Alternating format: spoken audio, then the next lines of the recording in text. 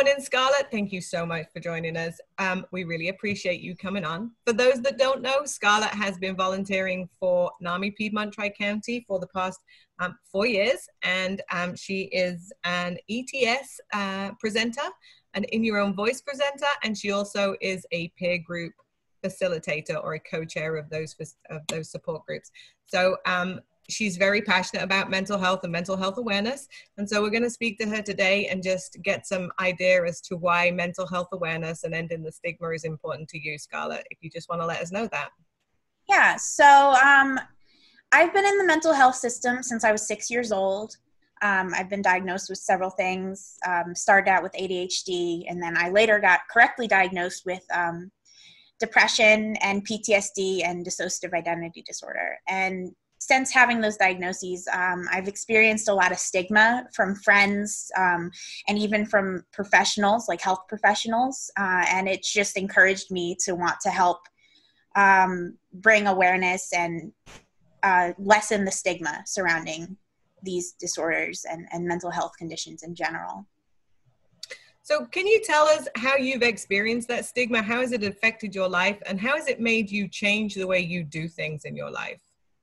Um, for sure. So one of the major major uh, times that I've experienced stigma is through um, people that I had considered friends who I either told them about my diagnosis, and um, I've had people who didn't believe me. Um, I've had people who thought I was dangerous. I've had people ask questions about whether I was going to hurt them. Um, and it's just caused me to be a lot more at first it caused me to be a lot more guarded um, and later on it's encouraged me to actually i guess be more open to kind of help bring awareness. Hopefully you know other people won't have to experience the same kind of stigmas that i do we, we had talked about this yesterday. Um, Maria did a video for me yesterday, and we discussed um, that people, you know, perceive us differently when we have a mental health diagnosis. It doesn't matter how successful we've become in life, it always gets brought back to that mental health diagnosis. I mean, even if we think of people like Van Gogh, and there's always that mental health piece that gets thrown into that uh, conversation. So, um, what would you say to somebody who was struggling with their mental health but didn't want to bring that own stigma onto themselves? What would you suggest um, would be their first step? Um, well, I think for anybody who's struggling with uh, a mental health condition, the first best step would be to um, establish some care with a professional. Um, whether that be a therapist or a psychiatrist, um, somebody that actually has an understanding of your diagnosis and has dealt with people who have your diagnosis before. Um, but as far as um, friends and family, um, if if they don't understand, I would suggest seeing if NAMI has any family to family programs going on or anything like that. Uh, because when I was first diagnosed, my um, my mom and stepdad went and did one of the NAMI programs. Um, I, I, believe it was family to family. Um, and they were able to learn a lot and um, be a lot more supportive and understanding of my diagnoses. Thank you. Uh, we actually have a family to family class starting um, online here in the next couple of weeks, and I have been posting that out on our social media. So I will put a note at the end of this for people to find that program as well. So, along your journey, um, you said you were six, and so h- how did it even manifest at six, and who who realized that there was a problem first? Um, so when I was uh, younger, I was having a lot of hyperactive symptoms, I guess um, I wasn't able to focus. I didn't want to sit still. I would get up and go to the corner of the room during class. Um, I wasn't able to get my work done. I was always feeling on edge and things like that. And it manifested in a way that, um, as this actually is not uncommon, um, I was dealing with PTSD symptoms, but I was diagnosed with ADHD. So I was put on ADHD medication, and um, obviously that wasn't the right treatment for me, so it didn't work. But um, yeah, so my my parents saw something was going on and brought me to a psychiatrist, and uh, from there I was diagnosed with ADHD. It's a long journey sometimes to get the right diagnosis, but kudos to your parents for recognizing the symptoms early on because quite often it's dismissed as uh, all boy or it's dismissed as just a kid or it's dismissed as high imagination and those kind of things. And so that can get a kid really confused about what's going on with them because they don't have that frame of reference. So i'm so glad your parents sort out help quickly.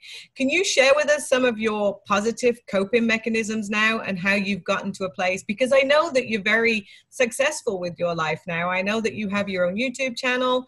I know that you do a lot of volunteer work. I know that you're um, doing a lot of advocating. And I would like to know, you know, how you manage that and what positive coping strategies you've employed to get yourself to this point. Um, well, for me, when I'm having a hard time and struggling, um, one of my major things is, is getting into a story. So it could be a book, a TV show, or a movie, uh, but something that kind of distracts me and gives me something else to focus on. And also, writing has been a big one for me. Um, and then I found out that when I share the things that I've written, like my poetry and things, people often relate. And so it helps other people as well. Okay. So, can you tell me, was it um, difficult for you to find a therapist to recognize the symptoms of what was really going on? And what age did that happen? And how helpful was, was it when you finally got to the point where somebody understood? Um, so, it was first identified with what was actually going on um, at 15, when I was 15 years old. And um, it did it did take a while to actually. I, I had been I'd seen uh, at least four or five other therapists before um, I saw the therapist that actually identified um, my DID and my PTSD. Um, and so it was it was very helpful to finally get the correct diagnosis, um, and I was able to get on the get in the correct type of treatment and uh, get off the medications that weren't helping me um, which which made a big difference for sure. That's awesome. So, if you can tell us, because I know that you share a lot on your YouTube channel, so could you share the? Do you have a channel name for that, or is that just? Can I link that? Yeah, yeah, it's called the Labyrinth System, and um, most of the content I post on there has to do with my um, dissociative identity disorder but I also post about trauma disorders, um, PTSD, and I interview other people. So I've interviewed somebody with bipolar, I've interviewed somebody with agoraphobia. Um, I'm going to be interviewing somebody with the eating disorder pica soon. Okay. So I'm, I'm excited about that because I feel like that disorder is very is not known about. Right, so. very misunderstood. Can you tell us a little bit more about the DID? Can you just share um, a high level version of what um, somebody might be struggling with if they do have DID? Right. Um, so for me, um, when before I was diagnosed, uh, one of the major things that I would struggle with is I would lose time. So I would have days that I didn't remember. I would have tests I didn't remember taking. I would get them back. I would have assignments due. I didn't remember getting assigned. Um, and I would, you know, sometimes I wouldn't remember a whole day or a couple days. Um, and so that was one of the major symptoms. But also, I would hear um, voices whispering, and um, I didn't know what it was. I was later to find out that it was my alters, my other personalities. But um, those were the two major things. And of course, also, I had PTSD symptoms. Um, and DID and PTSD kind of go hand in hand. They're both trauma disorders. Um, so for me, those were the major things that were kind of um, takeoffs that something was going on. I gotcha. So just my final question is, um, once you um, recognize this is what was going on, and from six to 15 is a long period of time for you to struggle and try and manage those symptoms with um, you know things that were going on for you that weren't recognized. Um, so um, once once you did get to that right therapist can you tell me what the the major treatment protocol is for um, is that talk therapy? Is it cbt is it dbt is it what's the um, overriding um, so for DID, mostly it's talk therapy. There's no medication or anything that treats DID specifically. Um, it, it's mostly trauma therapy and working through trauma, and also um, developing developing better communication with the other alters, the other personalities, um, so that I know what happens when I'm not present, and so that there's more control over who comes out and when and things like that. Interesting, interesting. Um, so where could somebody find more? They could go to your YouTube channel, but where where else could they find information on um, DID or PTSD? Where would you recommend? Um, PODS is uh, the Positive Outcome for Dissociative Survivors is a um, a UK charity, and they have a lot of good information. And then an Infinite Mind is um, they're actually based in Orlando, and they are another charity that brings a lot of awareness towards DID. And every year they have a conference for people with dissociative identity disorder. So both of those bring a lot of awareness and have a lot of good information. Must be helpful to have that community wrap around you of people who understand.